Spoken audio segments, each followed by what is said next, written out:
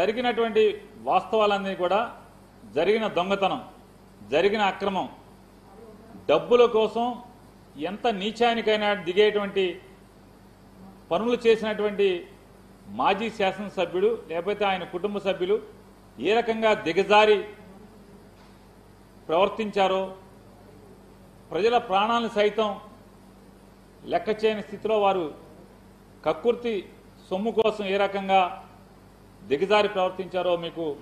ఆధారాలతో సహా మీకు అందరికీ కూడా ప్రపంచానికి జగన్ గారి ప్రభుత్వం తెలియజెప్పాలనుకుంది. సుప్రీంకోర్టు అంటే కేంద్ర రవాణా శాఖ యొక్క ఇచ్చినటువంటి జీవోల ఆధారంగా సుప్రీంకోర్టు ఇచ్చిన తీర్పు మేరకు బిఎస్ త్రీ ప్రామాణికాలతో తయారైనటువంటి ఏ వాహనమైనా సరే రెండు వేల పదిహేడు మార్చి ముప్పై ఒకటి తర్వాత తయారు చేయకూడదు కంపెనీ షోరూములు అమ్మకూడదు.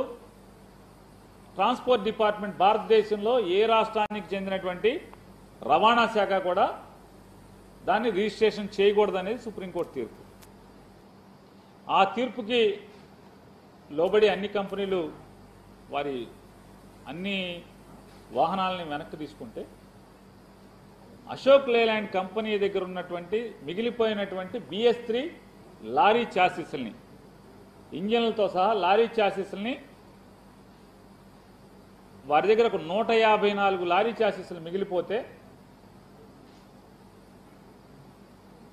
జటాధరా ఇండస్ట్రీస్ దానికి జేసీ ప్రభాకర్ రెడ్డి గారి శ్రీమతి గారు జేసీ ఉమారెడ్డి గారు అలాగే వారి కుమారుడు జేసీ అస్మిత్ రెడ్డి గారు ఈ జటాధర ఇండస్ట్రీస్ ప్రైవేట్ లిమిటెడ్లో ఇద్దరు కూడా డైరెక్టర్లుగా ఉన్నారు. ఆ కంపెనీ అలాగే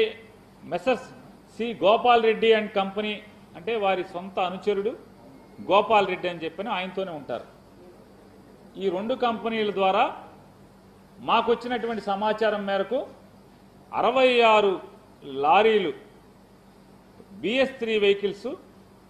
ఏదైతే సుప్రీంకోర్టు నిషేధించబడినటువంటి వెహికల్స్ అన్ని రెండు వేల పదిహేడు మార్చి ముప్పై ఒకటితో అయిపోయి రిజిస్ట్రేషన్ చేయకూడనటువంటి వాహనాలు నిషేధించబడినటువంటి వాహనాలు రెండు వేల పద్దెనిమిదవ సంవత్సరంలో అరవై ఆరు వెహికల్స్ ఫేక్ డాక్యుమెంట్స్తో రిజిస్టర్ కాబడిని అనేది మాకు ఒక సమాచారం వచ్చింది.